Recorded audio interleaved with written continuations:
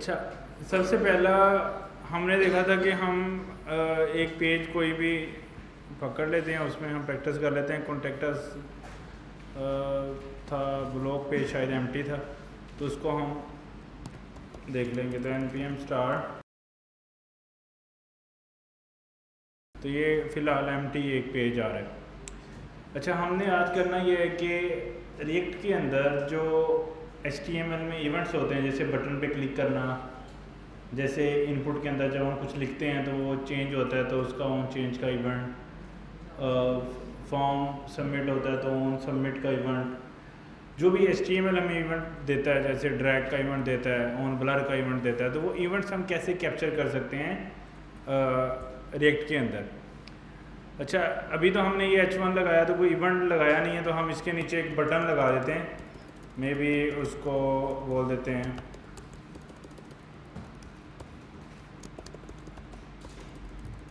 HTML का simple button का सम लगा देते हैं, उसको हम बोल देते हैं सबमिट तो हमें ये इस तरह से जो है ना, वो सबमिट नज़र आ रहा है।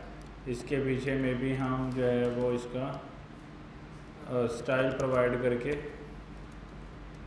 बैकग्राउंड कलर जो है वो थोड़ा सा सेट कर सकते हैं।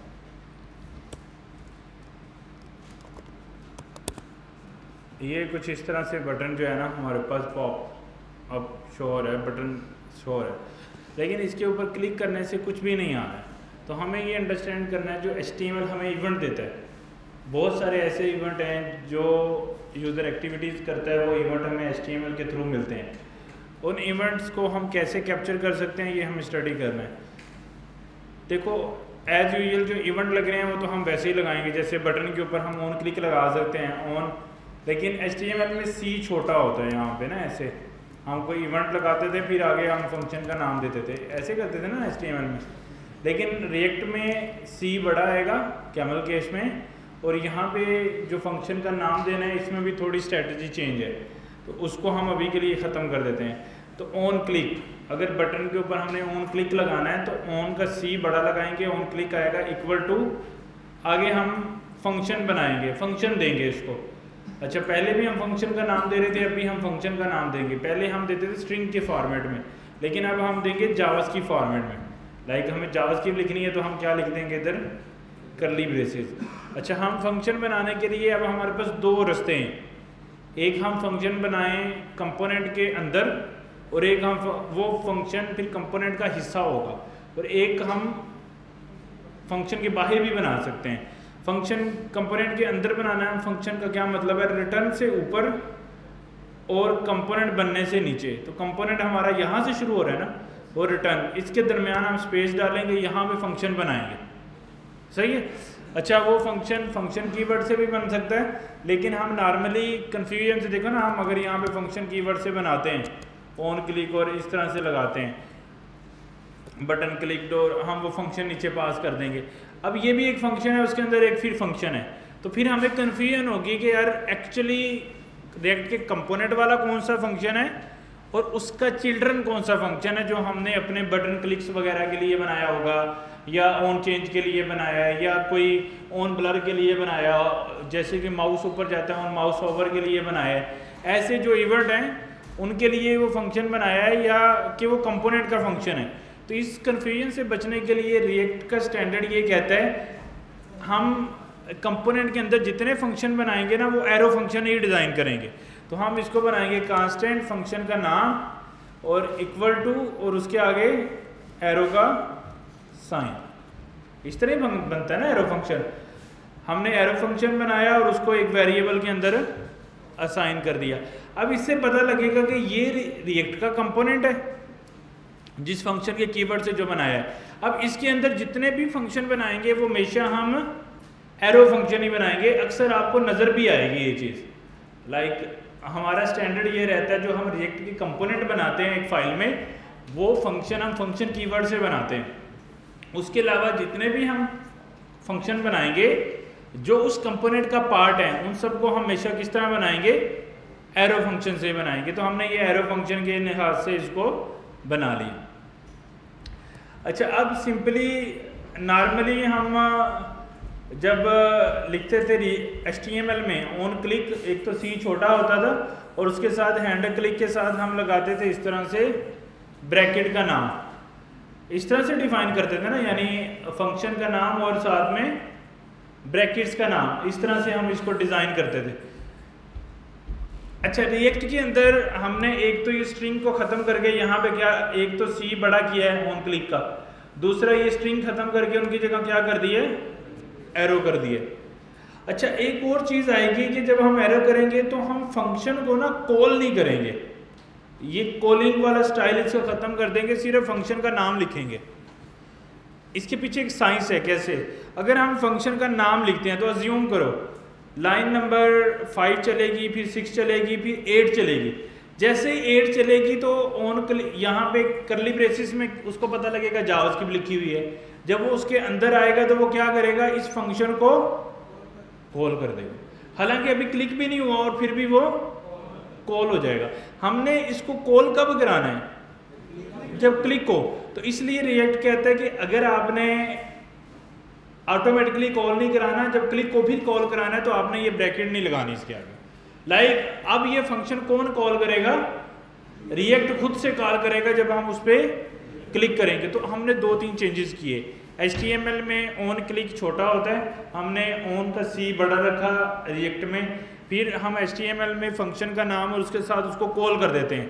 रिएक्ट में एक तो वो स्ट्रिंग वाला फॉर्मेट ख़त्म करके हमने करली ब्रेसिस जाज की और दूसरा, हमने फ़ंक्शन का नाम लिखा, लेकिन उसके साथ ब्रैकेट्स नहीं लगाई। क्यों? क्योंकि करली ब्रेसिस का मतलब जावास्क्रिप्ट होता है, और अगर उसके अंदर हम ब्रैकेट लगाएँगे तो वो फ़ौरन से एग्जीक्यूट हो जाएगा। उससे बचने के लिए हम ब्रैकेट्स जो हैं, वो ख़त्म कर देते हैं। अच्छा अब ये बटन ख़त्म कर दिए तो हम इसको अब बटन पे क्लिक करेंगे। तो टेक्निकली हमारे पास ये जो है, वो ये चलना चाहिए ना। ऑन क्लिक हमने इस पर क्लिक कर दिया और जैसे क्लिक होगा, हमने उसके अगेंस्ट ये वाला फ़ंक्शन जो है वो कॉल कर दिया। हैं? अच्छा कंसोल लगाया हुआ मैंने कहा लर्ड लगाया हुआ तो हम लर्ड लगा देते हैं। बटन क्लिक क्लिक कर। अच्छा अभी आपने क्वेश्चन किया कि ये फ़ंक्शन हमने डिफाइन कर दिया, लेकिन इसको कोई पैरामीटर पास नहीं किया। अब जब पैरामीटर पास करना है तो डेफिनेटली फिर क्या करना पड़ेगा? ब्रैकेट्स लगानी पड़ेगी। फिर इसमें जैसे टेन ट्वेंटी कुछ भी पैरामीटर पास कर सकते हैं। लेकिन अब अगर इसको आर्गूमेंट पास करेंगे ऐसे तो फिर ये क्या होगा? फिर ऑटो कॉल हो जाएगा। फिर तो ऐसे कर नहीं सकते। इस चीज़ का सोल्यूशन रिएक्ट क्या प्रोवाइड करता है कि अगर आपके फ़ंक्शन ने कोई पैरामीटर या आर्गोमेंटर एक्सेप्ट करने हैं, उस केस के अंदर फिर आप ऑन क्लिक के आगे पहले एरो बनाओगे एक और। अब देखो ये एरो का मतलब क्या है? हमने फ़ंक्शन बना दिया, लेकिन उस फ़ंक्शन को कॉल अब उसके रिटर्न में हमने क्या किया है? एक और फ़ंक्शन कॉल कर दिया है। अब जब रिएक्ट वो मतलब जब जावास की इसके अंदर आएगी, वो पढ़ेगी, वो कहेगा ये एक एरो फ़ंक्शन है। लेकिन एरो फ़ंक्शन को कॉल तो नहीं किया तो ऑटोमेटिकली वो उसको कॉल भी नहीं करेगा। वो जब इस पर क्लिक होगा तो फिर वो इसको कॉल करेगा, इस एरो फ़ंक्शन को। जैसे ही ये एरो फ़ंक्शन कॉल होगा, उसके आगे हमने क्या कॉल कर दिया? अपना फ़ंक्शन आर्गोमेंट विद आर्गोमेंट अब ये दो आर्गूमेंट आ जाएँगे इसमें, जैसे, हैं? किधर? नहीं रिटर्न करने की ज़रूरत नहीं है। जैसे इधर हम कुछ रिटर्न भी कर दें तो ऑन क्लिक को हमने क्या देना है? कुछ भी नहीं। रिटर्न की ज़रूरत नहीं है। सिर्फ़ हमने आर्गूमेंट पास करने के लिए एरो फ़ंक्शन डिफाइन कर दिया। अब ये ए बी मुझे मिल जाएगा, वो सिंपली ए बी हम यहाँ पे कंसोल में कॉल कर सकते हैं। तो यहाँ पे हमने कॉल किया इसको, और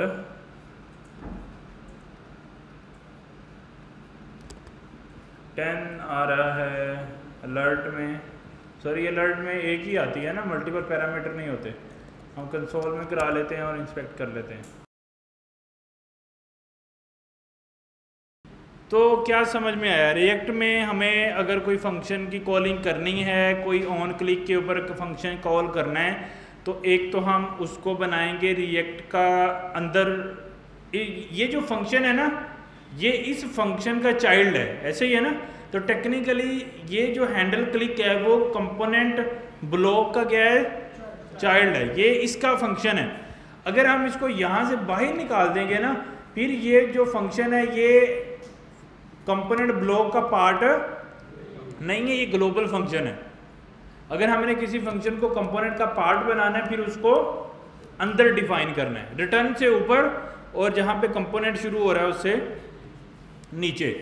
और हमेशा एरो फ़ंक्शन बनाना है। एरो फ़ंक्शन मैंने बताया क्यों बनाना है? क्योंकि अदरवाइज़ कन्फ्यूज़न होगी कि अगर सारे फ़ंक्शन फ़ंक्शन फ़ंक्शन कीवर्ड से बनाएँगे फ़ंक्शन तो वो फिर बहुत ज़्यादा कन्फ्यूज़न होती है कि इसमें से एक्चुअल फ़ंक्शन कौन सा है, जो कंपोनेंट है। तो इससे हमें, अगर हमने 10 फ़ंक्शन भी बना लिए इस तरह के तो हमें क्लैरिटी रहेगी कि एक ही फ़ंक्शन कीवर्ड से बन रहा है, वो कंपोनेंट है, बाकी सारे उसके फ़ंक्शंस हैं।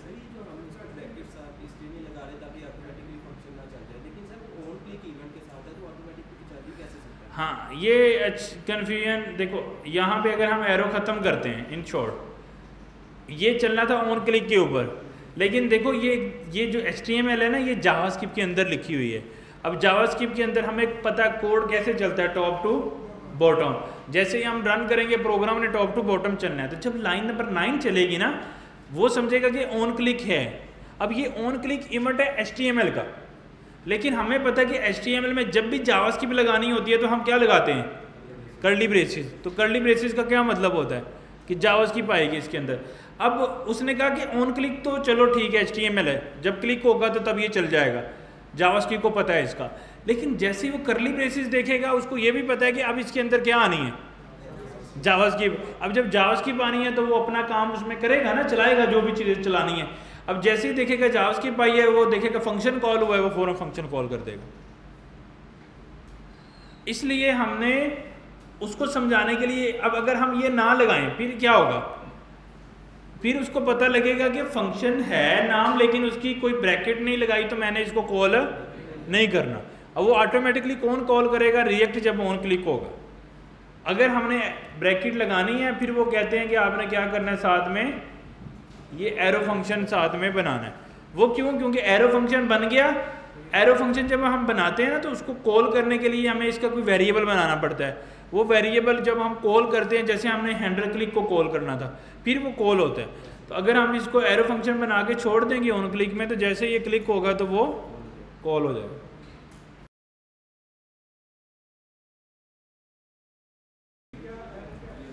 कुछ भी नहीं होगा, बस वो इनर फ़ंक्शन कंपोनेंट चल जाएगा। ओवर कर देगा ना उस फ़ंक्शन को तो वो नीचे वाला जो है, वो चला देगा उसको। ऑल सेट के ऑन क्लिक पे हमें फ़ंक्शन को कैसे कॉल किया, समझ आ गई आपको? अच्छा अब हमने इसको थोड़ा सा और, इसके अंदर चीज़ें ऐड करनी है, और भी जो इसके, अब ऑलमोस्ट सारे ऐसे ही चलेंगे, जैसे ऑन ब्लर है, या ऑन माउस ओवर है, या कोई भी आपने इवेंट चलाना है तो आपने क्या करना है?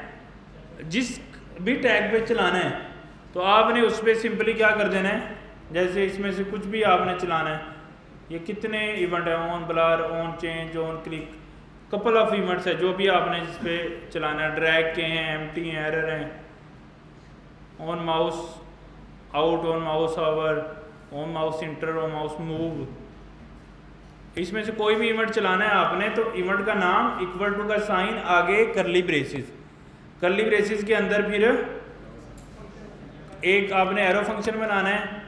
हैंडल माउस आवर उस एरो फ़ंक्शन के अंदर आपने जैसे लॉग लगा दिया माउस इंटर सही है? और जैसे ही यहाँ पे आपने सिंपली इस फ़ंक्शन का नाम पास कर देना अगर आपने इसका फ़ंक्शन का पैरामीटर पास करने हैं तो फिर यहाँ पे हम पहले एरो बनाएँगे, फिर उस फ़ंक्शन को कॉल कर सकते हैं।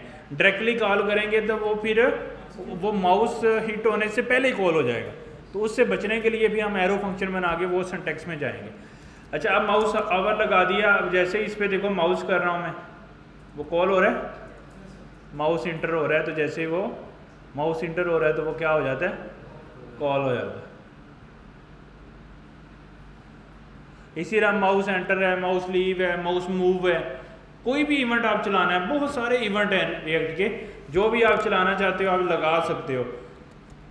इसमें on board on on animation and on animation start before input on blur on can play कुछ इवेंट जो हैं वो इनपुट पे चलते हैं, कुछ टैग्स पे चल जाते हैं।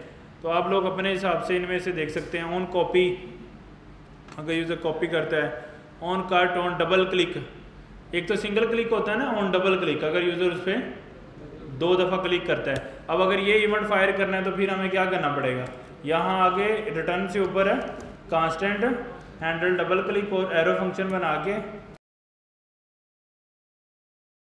एक एक इवेंट पे एक ही फ़ंक्शन चल सकता है। हाँ दो चलाने हैं तो फिर आप क्या करें, यहाँ पे एरो फ़ंक्शन बनाया है ना? करली ब्रेसिस लगा लें, और उसके अंदर फिर एक से ज़्यादा फ़ंक्शन कॉल हो सकते हैं। फिर वो मल्टी लाइन हो जाएगा ना कोड तो पहला फ़ंक्शन कॉल हो गया, साथ ही यहाँ पे दूसरा हो गया। ये वाला सेंटेक्स फॉलो हो सकता है, या ऐसे नॉर्मली ऐसे भी हम कर सकते हैं। रहते दैन हम ऐसे करें, अब ऑन हैंडल क्लिक तो पता चल ही रहा है। तो इसके स्टार्ट में पहली लाइन पे आप दूसरा फ़ंक्शन कॉल कर दो। जैसे क्लिक होगा पहला ऑन हैंडल क्लिक वाला कॉल हुआ, उसी की पहली लाइन पे दूसरा फ़ंक्शन कॉल हो जाएगा। तो टेक्निकली फिर दो फ़ंक्शन कॉल हो गए ना। वो तो आगे हो ही रहा था ना, लेकिन फिर वो पैरामीटर नहीं पास कर सकते। लाइक अगर आप एरो फ़ंक्शन ना बनाए हैंडल क्लिक तो चलेगा। लेकिन फिर आप ये आर्गूमेंट पास फिर आपको ऐसे करना पड़ेगा। इधर आपने पैरामीटर लगा दिया, ये तो किया ही हुआ है ना, हमने यहाँ पे आर्गूमेंट पैरामीटर लिए हुए यहाँ पे। तो यही तो आपको मैं बार बार बता रहा हूँ, ये नहीं चलेगा ना, क्यों नहीं चलेगा? क्योंकि जैसे लाइन नंबर 18 चलेगी हैंडल क्लिक चलेगा तो वो फ़ौरन इसको चला देगा वेट नहीं करेगा इवेंट फायर होने का। देखो ना सेंटेक्स गौर करो। करली ब्रेसिस का क्या मतलब है? जावा स्क्रिप्ट हैंडल क्लिक और ब्रैकेट टेन ट्वेंटी जब हम कॉल ऐसे हम किसी फ़ंक्शन को कॉल करें तो क्या होता है? अगर हम इसको यहाँ पे रिटर्न से ऊपर लगाएँ तो इसका क्या मतलब है? इसका क्या मतलब है? ये हैंडल क्लिक एग्जीक्यूट हो जाएगा। अब इसी को अगर मैं एच में करली ब्रेसिस में लगा दूँ तो ये क्या होगा? फ़ौरन एग्जीक्यूट हो जाएगा। इसको फ़ौरन एग्जीक्यूट से बचाना है। तो उसके दो तरीके हैं। या तो हम क्या करें? या तो हम इधर अगर आर्गूमेंट पास करने हैं तो एरो फ़ंक्शन लगाएँ। अगर आर्गूमेंट पास नहीं करने तो फिर एरो फ़ंक्शन लगाने की ज़रूरत नहीं है और फिर आर्गोमेंट भी ख़त्म करने पड़ेंगे। मतलब जब भी आपने ब्रैकेट लगा दी ना तो फिर एरो फ़ंक्शन लगाना लाजमी है। अगर वो नहीं लगाओगे तो फ़ंक्शन ऑटोमेटिकली चल जाएगा। समझ रहे? ऐसे अगर हम ये इधर लगा देते हैं टेन ट्वेंटी अब ये देखो, मैंने इसको कॉल किया, ये खुद ही चल गया। मैंने इसको कॉल नहीं किया बटन को क्लिक किया मैंने। वो लेकिन वो क्या हुआ? वो खुद ही चल गया। ये एग्जीक्यूट हो गया। अब अगर मैं इसको कॉल करूँगा तो वो एग्जीक्यूट ही नहीं हो रहा।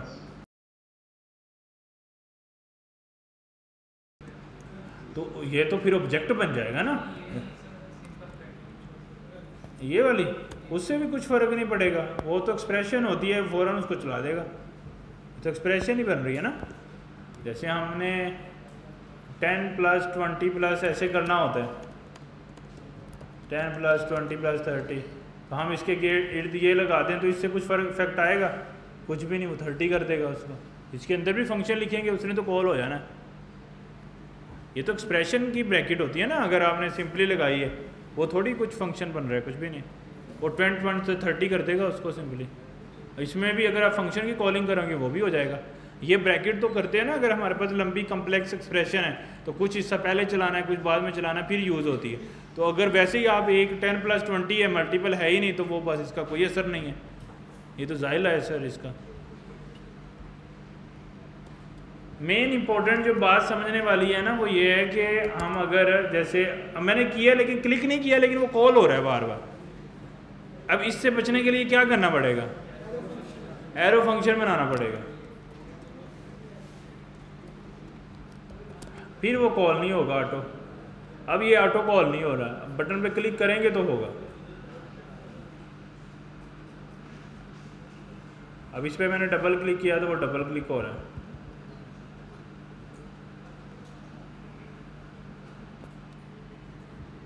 तो जितने भी इवेंट है, उनका एक ही सेंटेक्स है। इवेंट का नाम इक्वल टू का साइन और फिर फ़ंक्शन का नाम।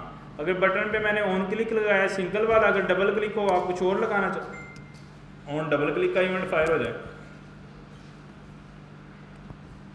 जैसे मैं इस पर जा रहा हूँ तो माउस ओवर वाला चल रहा है माउस इंटर वाला। जैसे सबमिट करता हूँ सिंगल क्लिक जैसे डबल क्लिक करूँगा तो डबल क्लिक हो जाएगा। क्योंकि मैंने अलर्ट लगाया हुआ था, वो डबल क्लिक मुझे करने नहीं दे रहा। वो अलर्ट टाइम कंज्यूम कर जाता है। डबल क्लिक आ गया। बटन क्लिक दो दफ़ा होगा क्योंकि मैंने दो दफ़ा क्लिक किया और साथ में डबल क्लिक भी फायर हो जाएगा। तो जितने भी इवेंट हैं ऑन जो भी इवेंट हमें कॉल करना है, उसका सेंटेक्स सेम है। इवेंट का नाम इक्वल टू का साइन करली ब्रेसेस जावस की भी लिखनी है। उसमें अगर तो आर्गूमेंट पास करना है तो फिर एरो फ़ंक्शन से स्टार्ट करके फिर आर्गूमेंट लिखना है। अगर तो नहीं करना तो फिर सिर्फ़ फ़ंक्शन का नाम लिखना है, साथ में ब्रैकेट नहीं लगानी। फिर वो जब इवेंट फायर होगा, वो खुद ही कॉल कर देगा रिएक्टर्स को। ये बस स्टैंडर्ड है, इसको हमें फॉलो करना है। अब एक इनपुट है हमारे पास लेसपोज इनपुट का टैग हम लगा देते हैं एच के नीचे। इस पर हम एक इवेंट लगाएँगे अब।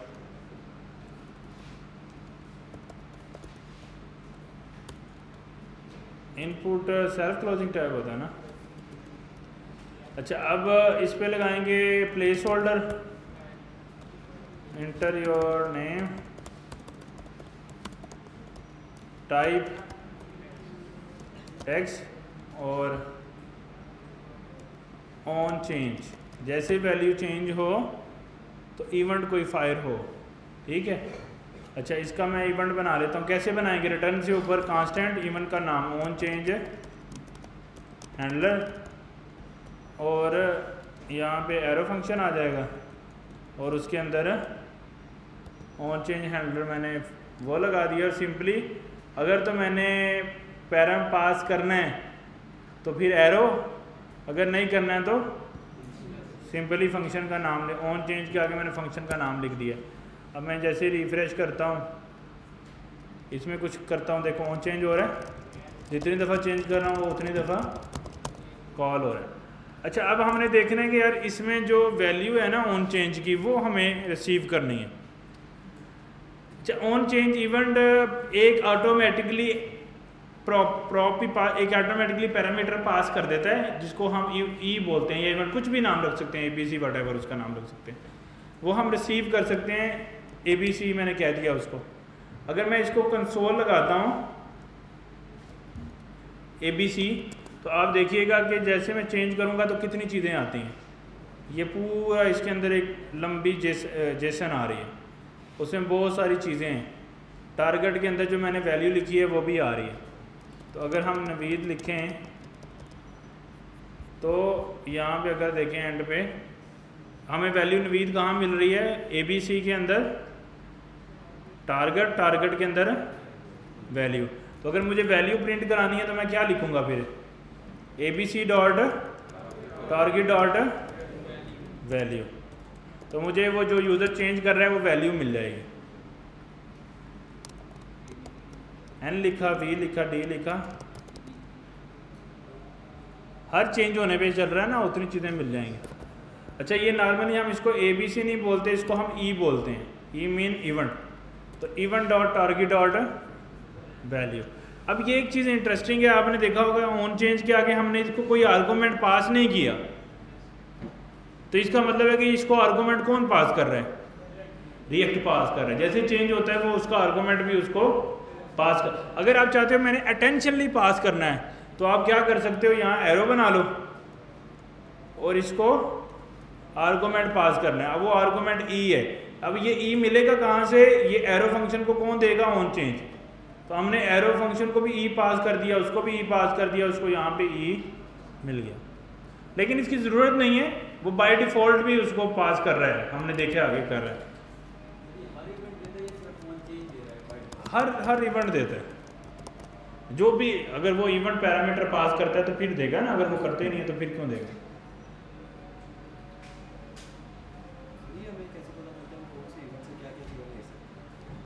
ये इंटरेस्टिंग क्वेश्चन है, फिर जैसे जैसे हम पढ़ेंगे वैसे वैसे आपको पता लग जाएगा।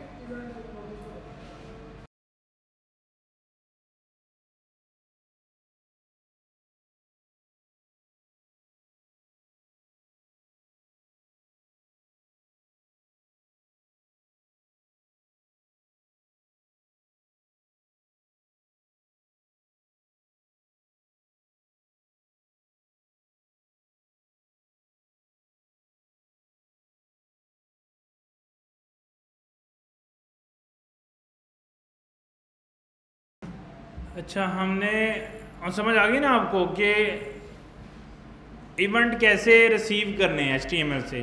दो तीन चीज़ें हैं। एक, हमें फ़ंक्शन बनाना है रिटर्न से पहले, और वो एरो फ़ंक्शन बनाना है।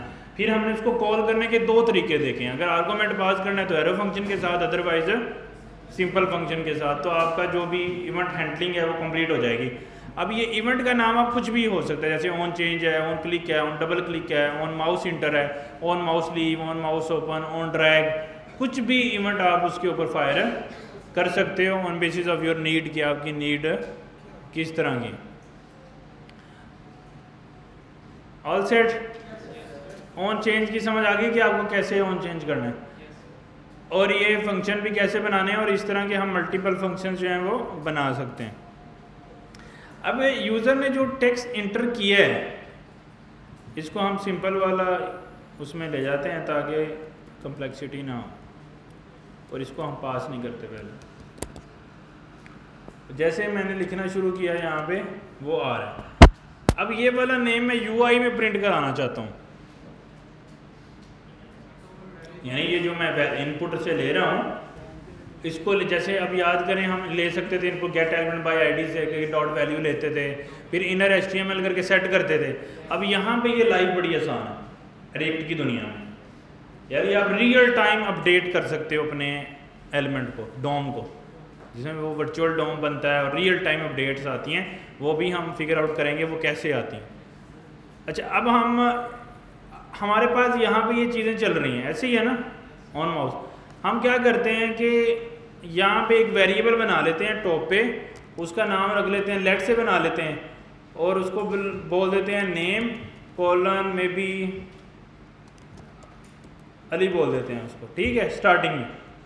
मैं क्या करता हूँ, यहाँ पे यूआई के अंदर इनपुट से नीचे, यहाँ पे एक और एच वन टैग लगा लेते हैं, और बोल लेते हैं यूज़र इंटर्ड नेम इज़ कैसे वेरिएबल प्रिंट करते हैं कर्ली ब्रेसिस और वेरिएबल का नाम? वेरिएबल का नाम क्या रखा था? नेम को हम ना यूज़र नेम कर देते हैं। समटाइम वो कंफ्यूज हो जाता है ना इससे। तो हमने यूज़र नेम यहाँ पे प्रिंट करा दिया तो डिफ़ॉल्ट में क्या आ जाएगा? अली क्यों आएगा? ऑलरेडी असाइंड वैल्यू है। तो मैं इसको देखा तो यहाँ पे अली आ रहा है। अगर हम इसको ख़त्म कर देंगे तो वो कुछ भी नहीं आएगा।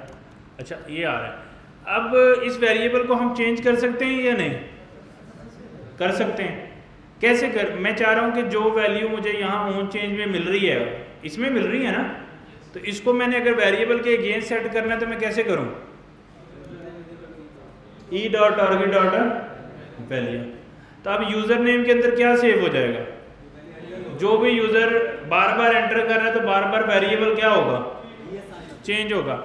अब अगर हमने देखना है ये वाकई हो रहा है या नहीं, इस वेरिएबल को हमने बनाया है, ये वेरिएबल इस कंपोनेंट ब्लॉक का हिस्सा है या नहीं? हिस्सा है, क्यों? इसके अंदर बनाया हमने इसको। अब इसको मैं किसी भी लाइन में रिटर्न से पहले लगा सकता हूँ ना कंसोल देखने के लिए? तो मैं क्या लिखूँगा? Console dot log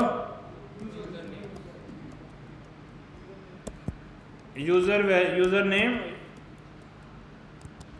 और वो मेरे पास कंसोल में आ जाएगा। ऐसे ही?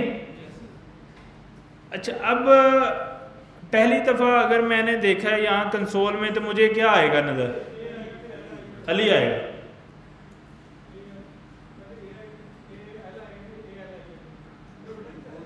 नहीं, जब वो तो एंटर करेंगे तो फिर आएगा ना। हमने तो एंटर किया ही नहीं अभी कुछ। ये वाला इवेंट तो फायर ही नहीं हुआ अभी। ये फायर नहीं हुआ तो डिफ़ॉल्ट वैल्यू क्या है? अली है तो वो बस प्रिंट हो रहा है, अभी तो हमने कुछ को चेंज ही नहीं किया। अभी तो इवेंट तो तब कॉल होगा ना, जैसे ही हम कुछ चेंज करना शुरू करेंगे। अच्छा अब हम चेंज करना शुरू करते हैं। हम लिखते हैं एन फिर लिखते हैं वी फिर लिखते हैं नवीद ये सारा हमने किया। लेकिन कुछ कंसोल हमें प्रिंट हुआ? नहीं। अच्छा नहीं हुआ प्रिंट तो हम क्या करते हैं? इसी कंसोल को ऑन चेंज हेडर जहाँ हमने वैल्यू चेंज कर दी है ना इन ऑन चेंज हैंडलर वहाँ भी लगा देते हैं। और ये वाला यूज़र नेम है इन कंपोनेंट ऐसे ही है ना? अब हमने इसको रिफ्रेश करते हैं। यूज़र नेम इन कंपोनेंट क्या आ रहा है? अली आ है। अब हमने लिखना शुरू किया नवीद। क्या हुआ? User name in on change handler क्या आ रहा है? नवीद आ रहा है। लेकिन, जो हमारा ये वाला कंसोल है, ये वाला, ये नहीं चल रहा है। और अगर ये नहीं चल रहा है तो उससे क्या हो रहा है? अगर आपने देखा हो कि अभी वेरिएबल में क्या वैल्यू पड़ी है? नवीद पड़ी है, लेकिन यहाँ पे क्या आ रही है? हालाँकि ये वैली वैल्यू वेरिएबल में इस वक्त नहीं है। लेकिन स्टील ये आ रही है। क्या सीन बन रहा है फिर? क्या लग रहा है? देखें, ये तो वैल्यू इसमें आ गई यूज़र नेम में। सेट होगी चेंज हुई ना? जब वेरिएबल की वैल्यू चेंज हो गई अली से नवीद तो इसको यहाँ पे चेंज करनी चाहिए ना वेरिएबल लेकिन वो नहीं कर रहा। है अच्छा मसला ये आ रहा है, देखो वेरिएबल चेंज हो रहा है। इसमें कोई दो राय नहीं है। क्यों? क्योंकि हमने उसी फ़ंक्शन के नीचे वेरिएबल को कंसोल कराया, उसमें चेंज्ड वैल्यू आ रही है, लेकिन वो चेंज वैल्यू यूआई पे नज़र नहीं आ रही। अच्छा अब ऐसा क्यों है? इसके पीछे रिएक्ट की एक साइंस है जिसको वो जिसको हम बोलते हैं ना रिएक्ट इज़ वेरी उसकी पॉपुलैरिटी की रीज़न ये थी, इसमें परफॉर्मेंस बहुत अच्छी थी। और परफॉर्मेंस की रीज़न क्या थी कि इसमें चीज़ें जो है ना, वो फास्टली चलती हैं रेंडर होती हैं। वो कैसे चलती हैं, ये वेरिएबल के चेंज होने पे यूआई चेंज नहीं करता। देखो वेरिएबल चेंज हो रहा है, लेकिन वेरिएबल के चेंज होने पे आप देख रहे हैं कि रिटर्न दोबारा नहीं चला रहा। और जब ये रिटर्न दोबारा नहीं चला रहा है तो दोबारा कोड चल नहीं रहा। और जब कोड दोबारा नहीं चल रहा तो इसका मतलब है यूआई पे दोबारा चीज़ें रेंडर नहीं हो रही। तो ये क्या हुआ, जब एक दफ़ा कंपोनेंट चलता है कंपोनेंट के लाइफ साइकिल में ये एक दफ़ा चीज़ रेंडर हो जाती है। जो चीज़ पहली दफ़ा रेंडर हो गई ना इनिशियली उसको चेंज नहीं हम कर सकते। वो रेंडर हो गई यूआई के ऊपर। अच्छा लेकिन बहुत सारे केसेस में हमें ऐसा नहीं चाहिए होता। जैसे अभी हमारे पास प्रॉब्लम है। वो प्रॉब्लम ये है, हम चाहते हैं कि यूज़र जो भी नाम इधर लिखे, वो नाम इधर आना चाहिए। तो इसका मतलब है कि हम जो रिटर्न के नीचे एच है, उसको बार बार रेंडर करना चाहते हैं। नहीं समझे? नॉर्मली रिएक्ट का कंपोनेंट लाइफ में एक दफ़ा रेंडर होता है, जब वो निचली चलता है। अब, उसके बाद हम जितने मर्ज़ी इवेंट कॉल करते रहें फ़ंक्शन कॉल करते रहें वेरिएबल चेंज करते रहें, वो रेंडर दोबारा नहीं होता। वो कब रेंडर होगा, जब हम रिफ्रेश करेंगे? जब हम रिफ्रेश करेंगे तो वो वैल्यू लिखी हुई वैसे ही ख़त्म हो जाएगी तो कुछ भी असर नहीं आएगा। अब इस चीज़ का, इस प्रॉब्लम का हमें क्या निकालना है? फिक्स निकालना है। अच्छा इस प्रॉब्लम का फिक्स क्या होगा? इस प्रॉब्लम का फिक्स ये है कि जो ये रिटर्न है ना, ये रिटर्न इसको हम बार बार चलाएँ। अच्छा उसका एक नुकसान होगा। क्या? हमारी एप्लीकेशन स्लो हो जाएगी। परफॉर्मेंस देखो ना एक चीज़ बार बार ये एक एच वन बना हुआ है। ये एच वन जब दोबारा दोबारा प्रिंट होगा दोबारा दोबारा स्क्रीन पे लगेगा तो परफॉर्मेंस क्या होगी? स्लो होगी। लेकिन एक फ़ायदा भी होगा। इसको दोबारा चलने से क्या फ़ायदा होगा कि ये एच वन दोबारा चलेगा और इसको नया अपडेटेड वेरिएबल की वैल्यू भी मिल जाएगी। अच्छा इसका मतलब बाय डिफ़ॉल्ट तो रिएक्ट रेंडर नहीं करेगा बार बार वेरिएबल चेंज करने पे। लेकिन उसने हमें एक ऐसा मैकेनिज्म दिया है, अगर हम उस मैकेनिज्म को यूज़ करते हैं तो हम रिएक्ट के कंपोनेंट को बार बार रेंडर कर सकते हैं। कितनी दफ़ा करना है ये हमारे कंट्रोल में? सही है? और कब करना है ये भी हमारे कंट्रोल में। तो वो कहता है कि आप अपनी मर्ज़ी से मैं आपको कंट्रोल देता हूँ कि जिस कंपोनेंट को आप जितनी दफ़ा चाहे री रेंडर करना है कर सकते हैं। अब हम बहुत ज़्यादा दफ़ा उसको रेंडर नहीं करते ताकि उसकी परफॉर्मेंस लो और इतनी दफ़ा भी कम नहीं करते कि हमें चेंज ही नज़र ना आए। तो हम कोई मिडल का कोई तरीका निकालेंगे कि जिस तरह से कब उसको रेंडर करना अच्छा एक चीज़ मज़े की है। अगर इस कंपोनेंट में एक एलिमेंट चेंज हो रहा है ना, सिर्फ़ वो उसी को रेंडर करेगा। ऐसे नहीं है कि वो पूरे रिटर्न को दोबारा से रेंडर कर देगा। इसी को वो वर्चुअल डोम बोल रहा था। तो वो कंपैरिजन करेगा देखेगा कि क्या एलिमेंट जो है चेंज हो रहा है। उस एलिमेंट की बेस के ऊपर वो फिर री रेंडरिंग जो है वो परफॉर्म करेगा। अच्छा अब ये रिरेंडर फिर होगा कैसे? उसके लिए रिएक्ट ने एक नया मैकेनिज्म मैकेनिज्म इंट्रोड्यूस किया है उसको कहते हैं हुक्स क्या बोलते हैं? हुक्स हुक के अंदर एक ऐसी हुक है हुक मतलब होता है ना कि किसी चीज़ को हुक करना मतलब उसको अटेंशनली चेंज करना। उसने एक ऐसी हुक हमें इंट्रोड्यूस करवाई है, जिसकी मदद से हम एक ऐसा वेरिएबल बना सकते हैं, एक ऐसा पावरफुल वेरिएबल जब भी उस वेरिएबल को हम चेंज करेंगे तो रिएक्ट का रिटर्न भी चलेगा। यानी कि रिएक्ट का कंपोनेंट री रेंडर होगा। देखो नॉर्मल ये हमने बनाया है जावास्क्रिप्ट वाला वेरिएबल सादा वेरिएबल इस वेरिएबल की बेस पे रिएक्ट का कंपोनेंट दोबारा नहीं चलता है. अब जो हम वेरिएबल बनाने जा रहे हैं, उसके बनाने का तरीका मुख्तलिफ़ है. वो वेरिएबल बनाएँगे थ्रू हम रिएक्ट जब हम वेरिएबल बनाएँगे रिएक्ट के साथ तो वेरिएबल रिएक्ट को पता है ये वेरिएबल मैंने बनाया अब जब चेंज आएगा ना, उस पर्टिकुलर वेरिएबल के अंदर तो रिएक्ट जो है वो वेरिएबल की वैल्यू भी चेंज करेगा और साथ में री रेंडरिंग भी करेगा। अच्छा उस मैकेनिज्म को, उस वेरिएबल को बनाने का सेंटेक्स क्या है? हम रिएक्ट में से इंपोर्ट करते हैं यू स्टेट की हुक यू स्टेट की हुक क्या करते हैं? इंपोर्ट करते हैं। हम कहते हैं, जैसे यूज़र नेम वाला बनाना है। तो हम बोलते हैं, जैसे हम इसको बोल देते हैं मे बी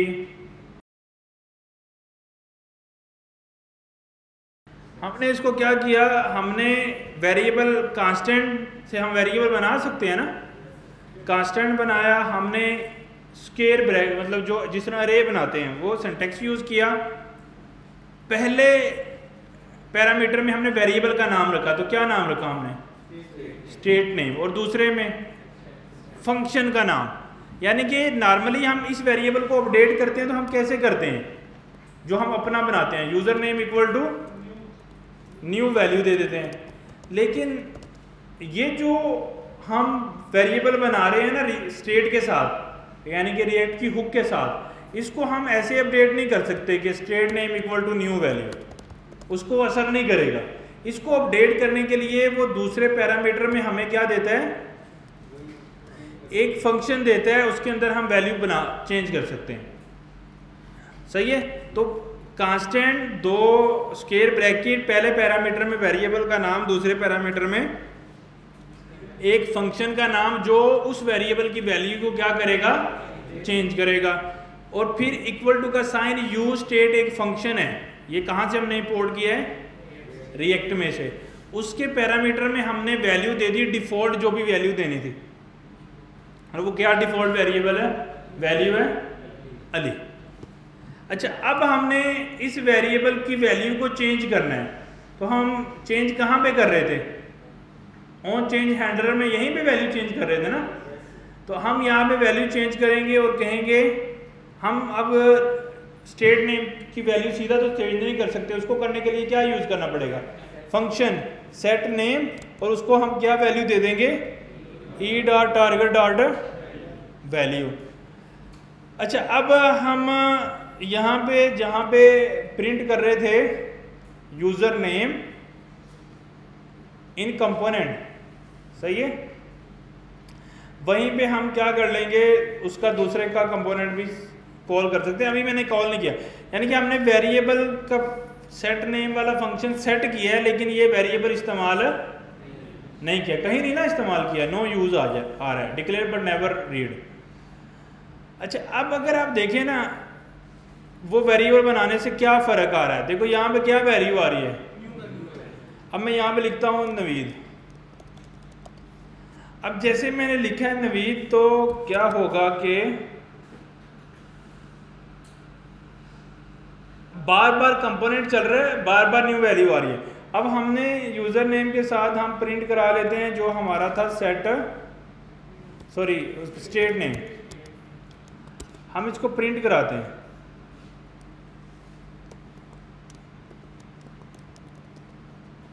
ये आ रहा है वैल्यू इधर नज़र आपको? अब अगर हम इस वैल्यू को यहाँ पे भी प्रिंट करा दें स्टेट नेम वाले वेरिएबल को कहाँ पे? यूज़र नेम वाले वेरिएबल की जगह पे। अब आप देखेंगे यहाँ पे रन टाइम पे क्या हो रहा है? वैल्यू चेंज हो रही है।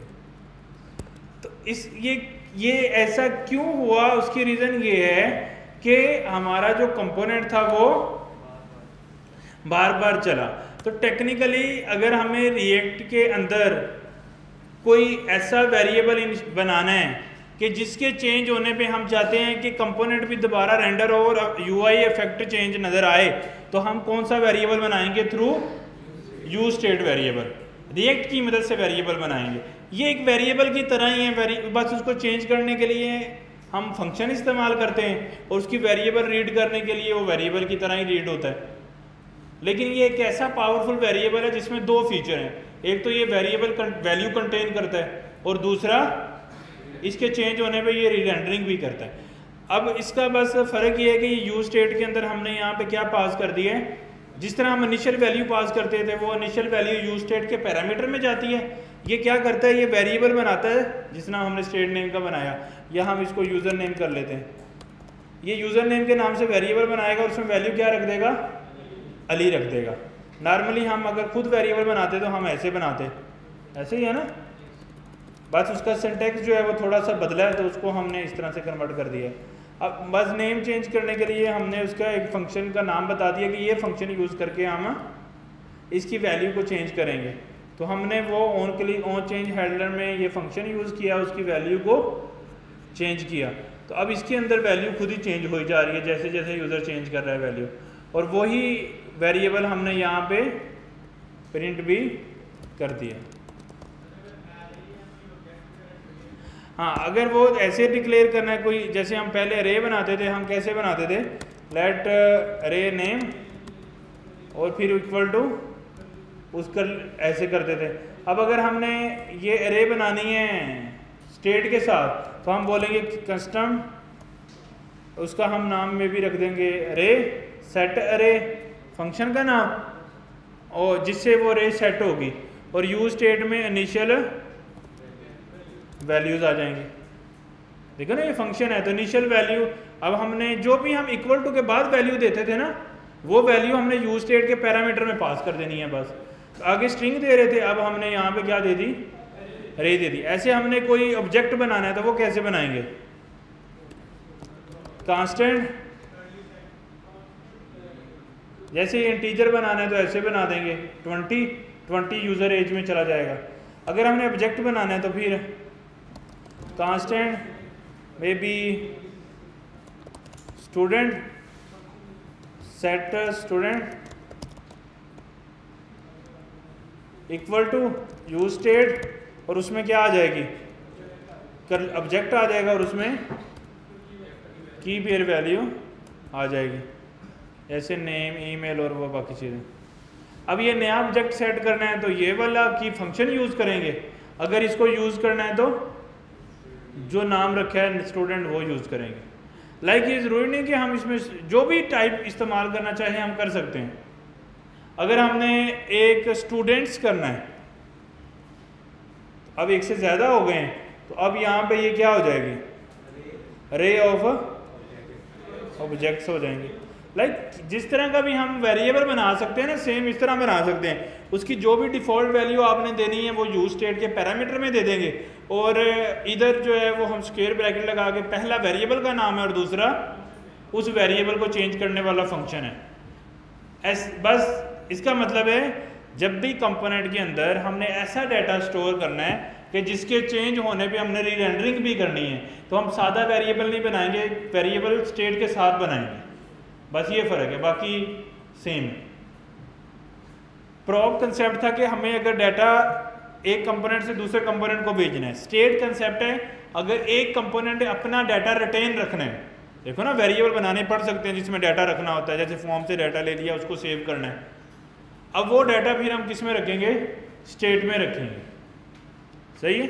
या सादा वेरिएबल बना के रख सकते हैं, लेकिन ज़्यादा प्रेफर है स्टेट ताकि वो चेंज होती रहे और हमारे पास अपडेटेड वैल्यू यूआई में भी नज़र आती रहे।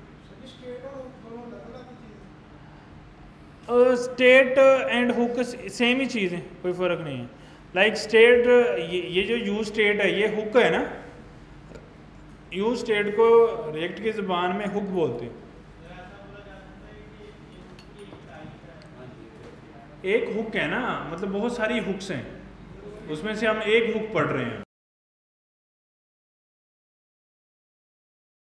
हाँ वो क्यों नहीं हो रही थी? देखो, वो सिर्फ़ ऑन क्लिक होने पे ये फ़ंक्शन तो चल रहा है। लेकिन, या ऑन चेंज होने पे ये फ़ंक्शन तो चल रहा था। लेकिन वो रिटर्न कंपोनेंट को दोबारा नहीं चला रहा ना रीरेंडर नहीं कर रहा। रिटर्न से ऊपर भी नहीं चलेगा ना। उसका तो मतलब ये है कि उसने यहाँ से लेके रेंडर का मतलब है कि उसने यहाँ से लेके दोबारा रेंडरिंग करनी है सारी। फिर ही रिटर्न चलेगा ना दोबारा। पूरे का पूरा कंपोनेंट को दोबारा चलाएगा। पूरा कंपोनेंट री रेंडर होता है।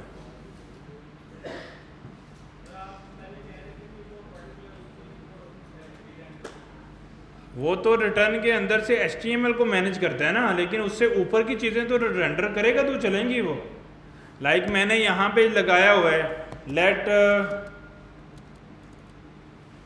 number equal to two multiply by two अब ये जब तक ये चलेगा नहीं तो टू मल्टीप्लाई टू फोर कैसे होगा? वो री रेंडर करेगा तो होगा ना? समझ रहे हो? तो इसका मतलब है रिटर्न से ऊपर उसने हर चीज़ को दोबारा चलाना है, ताकि लेटेस्ट जावास्क्रिप्ट एग्जीक्यूट हो सके।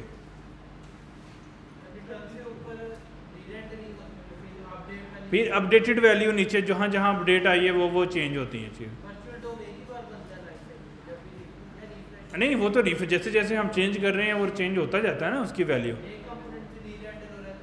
वो सिर्फ़ उतना ही होगा, जैसे अब हमारी ऐप में तो कितने कंपोनेंट हैं। लेकिन वो अगर यूज़ स्टेट से रेंडर हो भी रही है चीज़ तो वो सिर्फ़ एक ही कंपोनेंट रेंडर हो रहा है जो चल रहा है।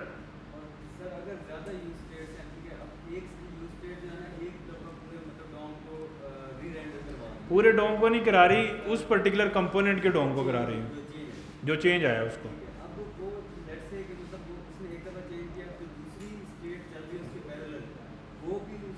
वो पैरेलल चलाएगी लेट सपोज़ अगर हमारी ऐसी ऐप है जैसे हम उस रूट पे आ जाते हैं।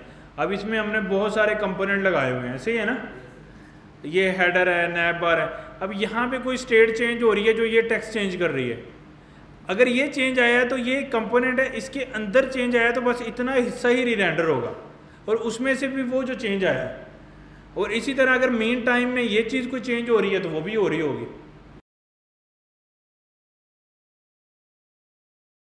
नहीं ना अब बात नहीं समझ रहे। अब अगर इस इस पर्टिकुलर कंपोनेंट में जितने भी हमने स्टेट लगाई हैं, कोई भी स्टेट चलेगी तो ये सारा कंपोनेंट ही दोबारा चलेगा। समझ आ गई आपको? तो इसमें हमने जो भी लॉजिक चलाई हैं, वो तो बार बार रेंडर होंगी। लेकिन अगर ये एक पेज के अंदर दस कंपोनेंट है और ये एक कंपोनेंट है तो बस इतना हिस्सा अफेक्ट हो रहा है, बाकी चीज़ें वहीं स्टैटिक ही हैंडल है।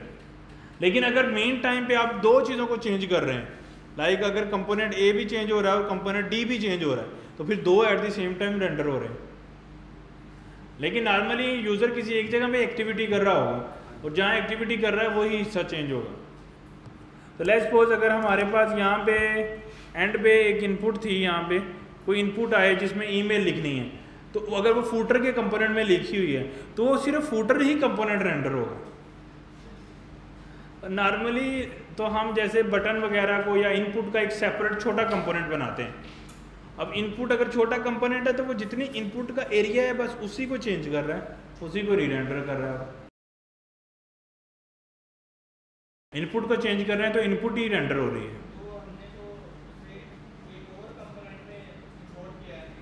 तो किए ऐसे तो हमने ब्लॉक को भी तो किसी जगह पे इंपोर्ट करके कॉल किया है। देखो ना, इसके ऊपर अब ऐप कंपोनेंट भी है, उसके ऊपर अब ब्लॉक कंपोनेंट भी है तो वो नहीं चलेंगे दोबारा। वो यही तो ब्यूटी है रेट की अगर वो सारे ही रेंडर करे तो फिर तो पूरी यू ही चल रही है ना। अगर वो इंडेक्स भी दोबारा चला दे ऐप भी दोबारा चला दे सारे पेजेस भी दोबारा रेंडर कर दे तो वो तो पूरी एप्लीकेशन ही रिफ्रेश हो गई। इसी की वजह से तो हम रेट इस्तेमाल कर रहे हैं। ये सिर्फ़ वही कंपोनेंट रेंडर करेगा जो, देखो ना, अब ये कंपोनेंट भी अल्टीमेट कहाँ पे जाके चल रहा है ब्लॉग वाला भी। ऐप में चल रहा है ना? लेकिन अगर हम यहाँ पे कंसोल लगाएँगे, वो इसको नहीं दोबारा दोबारा चलाएगा। ये एक ही दफ़ा चलेगा लाइव समझ आ रही है? तो यू, अगर उसकी स्टेट ब्लॉक की चेंज हो रही है, वो ऐप को दोबारा रेंडर नहीं करेगी। हाँ अलबत् अगर ऐप की स्टेट चेंज हो रही है तो वो अपने चाइल्ड सबको रेंडर करेगी। यानी पेरेंट में अगर कोई आप स्टेट चेंज कर रहे हो तो उसके चाइल्ड री रेंडर होंगे। लेकिन चाइल्ड चेंज हो रहा है तो पेरेंट री रेंडर नहीं होगा। यानी नेस्टिंग में जाएगा नीचे। उसके भी हमारे पास कंट्रोल्स हैं। इवन तो अगर हम चाहते हैं कि पेरेंट यानी ऐप रेंडर हो, दोबारा चले यू स्टेट इसमें लगाएँ, और हम चाहते हैं कि ब्लॉग दोबारा ना चले। तो हम ब्लॉग को ये बात बता सकते हैं कि इवन तो आपका पेरेंट री रेंडर हो रहा है, तुमने री रेंडर नहीं होना। ये भी हम बता सकते हैं। लेकिन टेक्निकली अभी के लिए अगर आप लगाओगे तो पेरेंट, अगर चाइल्ड चेंज हो रहा है तो पेरेंट पे इफ़ेक्ट नहीं आएगा। लेकिन अगर पेरेंट चेंज हो रहा है तो चाइल्ड पे इफ़ेक्ट आएगा चाइल्ड री रेंडर होगा। तो वो हम कब ऐप डॉट जे में हम नहीं लगा रहे ना, इसलिए। हम तो जाके स्पेसिफिक जगह पे लगाएँगे ना जहाँ ज़रूरत है चेंज करने की। हाँ इसीलिए हम ज़्यादा कंपोनेंट बना रहे हैं ना। तो हम उस कंपोनेंट में जाके लगाएँगे जहाँ हमें ज़रूरत है।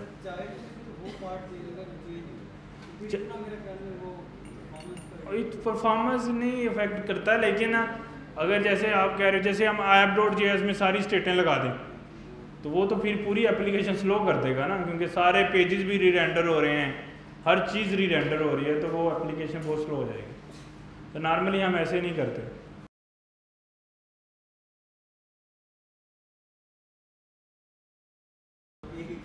वो भी कर सकते हैं, लेकिन समटाइम हमें रन टाइम पे चेक करना होता है। अक्सर आपने देखा होगा, जब आप फॉर्म फिल कर रहे होते हैं तो इनपुट में जब वैल्यू चेंज कर रहे होते हैं तो साथ ही रेड कर देता है। मैं ऐसे लिखूँ तो अगर वो पूरा नाम नहीं है, साथ ही रेड कर देगा। फिर मैं सही लिखूँगा, सही हो जाएगा। अगर इस तरह के इवेंट फायर करने हैं तो फिर ऑन चेंज ही करना पड़ेगा।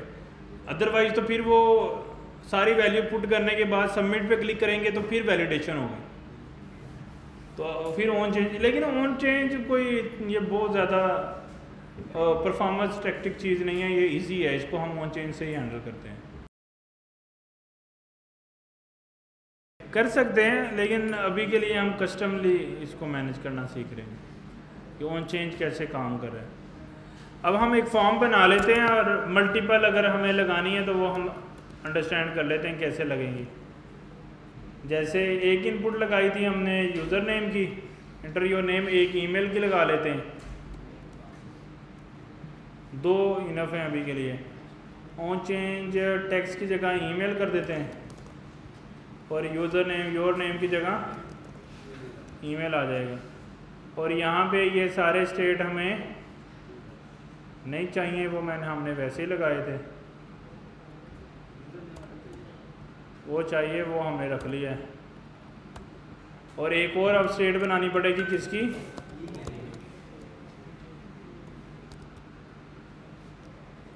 डिफ़ॉल्ट में मुझे कोई ईमेल नहीं रखनी है तो मैं इसको सिंपली डिफ़ॉल्ट एम्प्टी स्ट्रिंग छोड़ देता हूँ। अब डेफिनेटली इसका फ़ंक्शन भी मुझे क्या करना पड़ेगा फिर? सेपरेट करना पड़ेगा ना? ऑन चेंज हैंडलर ईमेल और उसके अंदर ईमेल का जो भी चेंज आ रहा है, उसको हमने ऑन चेंज हैंडलर में डाल दिया है। और यहाँ पे हम ईमेल की जगह पे क्या लगा देंगे? ऑन चेंज हैंडलर ईमेल और यूज़र नेम के साथ हम ईमेल लगा देते हैं और उसको प्रिंट कर लेते हैं।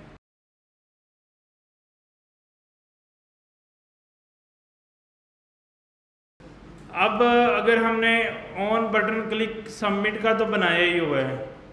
ऐसे ही है? तो इससे हम ये चीज़ ख़त्म कर देते हैं।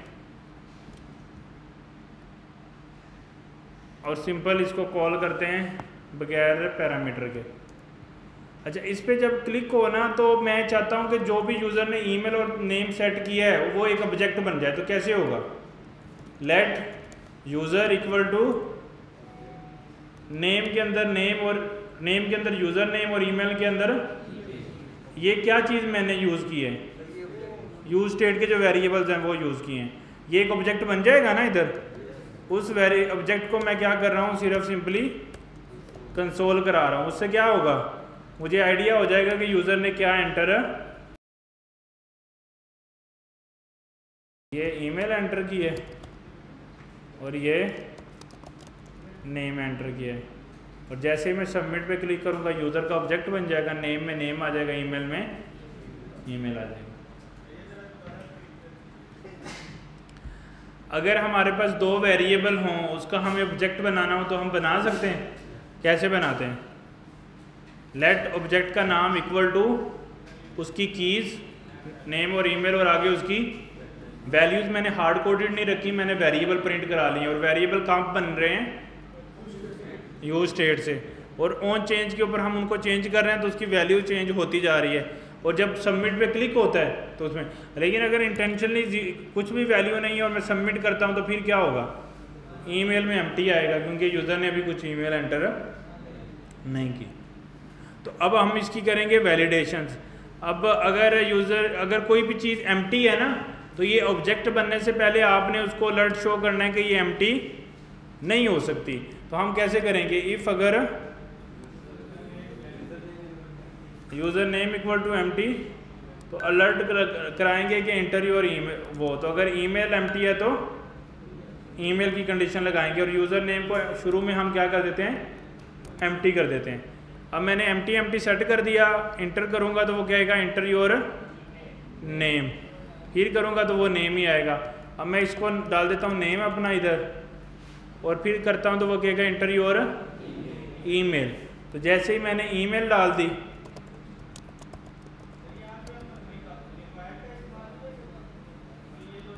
रिक्वायर्ड भी कर सकते हैं, लेकिन हम कस्टम जावास्क्रिप्ट लगाना चाहते हैं, इसलिए।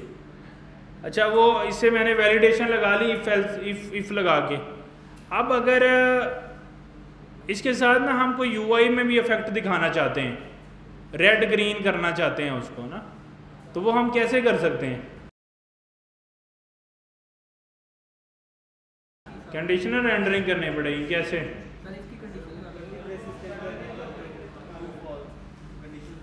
हाँ अगर उसकी वैल्यू नहीं है तो हम कहेंगे कि ये एमटी नहीं हो सकता। रेड कलर कर देंगे। अगर वो है तो वो हो जाएगा। तो इनपुट का जो कलर है, जो उसका बॉर्डर है टू पिक्सल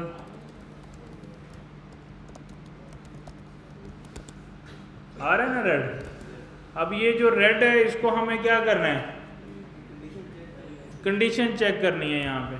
तो हम क्या करेंगे? सिंपली इसको वो बना लेते हैं और इसको हम बोल देते हैं कि अगर यूज़र नेम अगर नहीं है,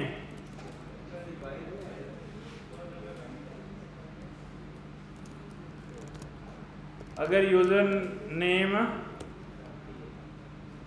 नहीं है तो क्या करो? रेड कर दो अदरवाइज़ वाइट कर दो। अब है तो वाइट कर दिया, अगर नहीं है तो रेड होगा जैसे एंटर होगा तो वाइट हो जाएगा, या ब्लैक कर दें। ग्रीन कर देते हैं।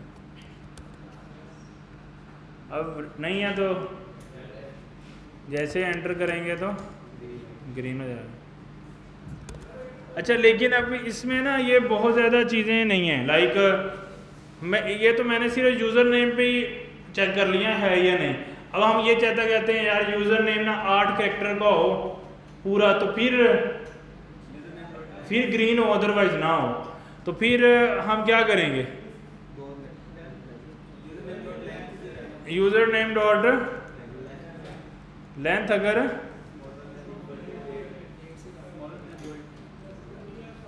एट है तो फिर?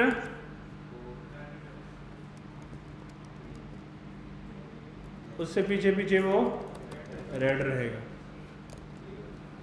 इसी तरह ईमेल की वैलिडेशन करनी है, चीज़ें करनी है तो वो हम कर सकते हैं।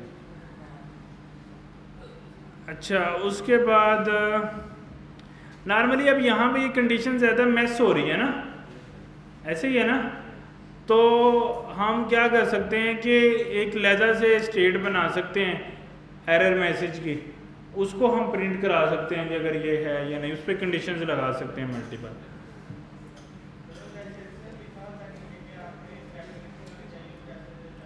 वो सारा कुछ हम इधर डिस्प्ले करा सकते हैं उस हिसाब से। सही है? तो आज हमने, अब आपका टारगेट ये है कि हम इस वीक एक बनाएँगे असाइनमेंट और उसको हम एक कॉन्टेक्ट फॉर्म बनाएँगे।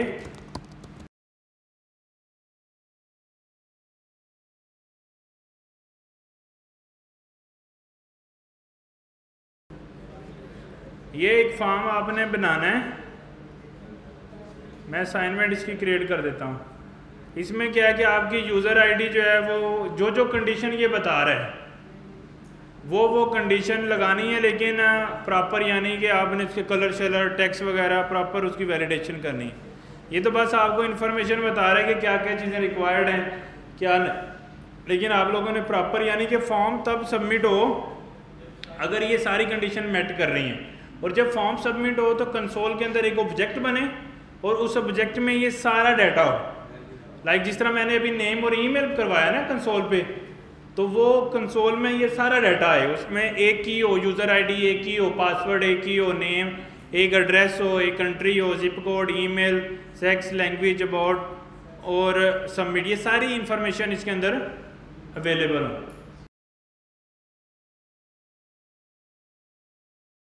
वो तो डेटाबेस से करना पड़ेगा, वो अभी नहीं हो सकता। ड्रॉप डाउन लिस्ट एंटर की हुई है, एक सेकंड एक सेकंड